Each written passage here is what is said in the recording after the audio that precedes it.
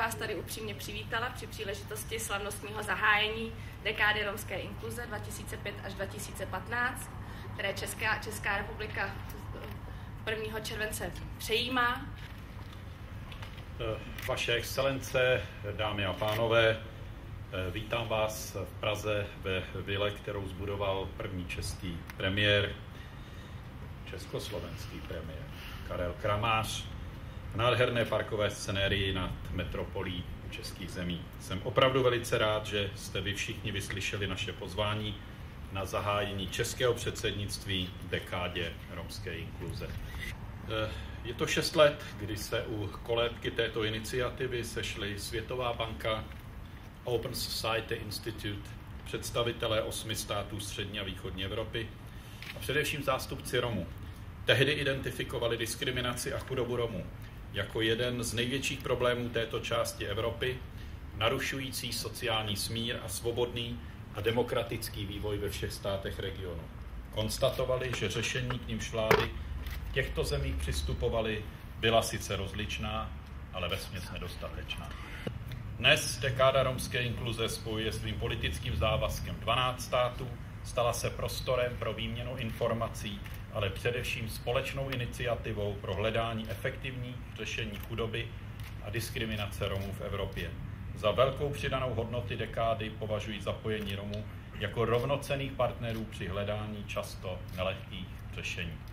A dovolím si tvrdit, že právě na půdě dekády iniciativy většinou nově přistoupivších zemí Evropské unie, které ale nejvíce tíží sociální vyloučení Romů, se zrodily společné základní principy romské inkluze, které schválila Rada ministrů Evropské unie pro zaměstnanost, sociální politiku, zdraví a ochranu spotřebitele v roce 2009. Tehdy na podnět českého předsednictví zaujalo Evropské společenství společný postoj k situaci romských trevelerských enkláv a vyžádalo si od členských států výraznou pozornost a citlivost vůči romskému etniku. Tento postoj je formulován jako desatero společných základních principů romské inkluze. Stručně řečeno, Evropská unie žádá, abychom při konstruování sociální politiky znali a vnímali celý komplex problémů, jimi žijí Romové a dokázali jednotlivcům a rodinám adekvátně pomoci, ale aby tyto politiky nebyly jen pro romské. Pro romské. Dále je důležitou prioritou, aby se Romové přímo zúčastnili na plánovaných řešeních. A tuto prioritu se snažila moje vláda naplnit tím, že jsme orgány státní zprávy i poradní orgány vlády, které mají v odpovědnosti inkluzivní politiku vůči Romům, obsazovali, pokud to šlo, právě Romy. Dámy a pánové, žijeme obtížné době. Důsledky ekonomické krize a recese eh, se odrazily nepochybně i na stavu romských komunit.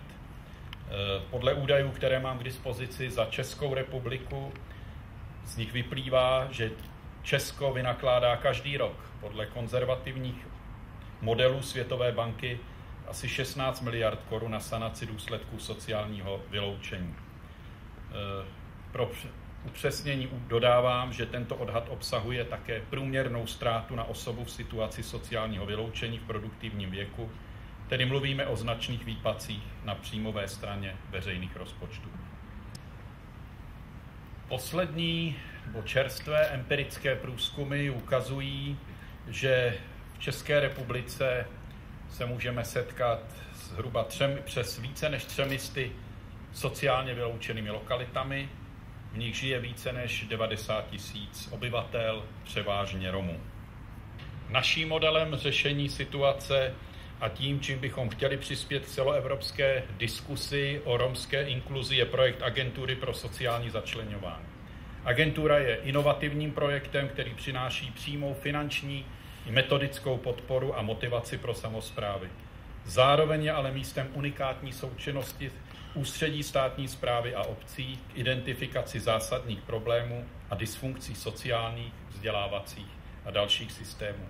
Agentura již dokázala v 23 obcích své působnosti připravit projekty za více než 500 milionů korun. Tyto projekty budou mít přímý dopad na více než 17 tisíc občanů.